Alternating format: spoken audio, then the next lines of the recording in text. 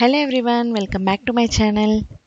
In this video we will see how to split Excel into two screens and arrange them side by side. This is very helpful in the case when we want to see the data in two different sheets at a time. Let's see how to do this.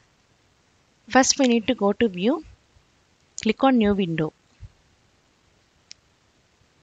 This will create the duplicate of the same file.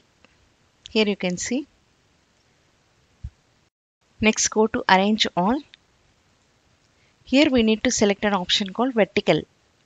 Vertical, click on OK. Here we can see the data from two sheets at a time.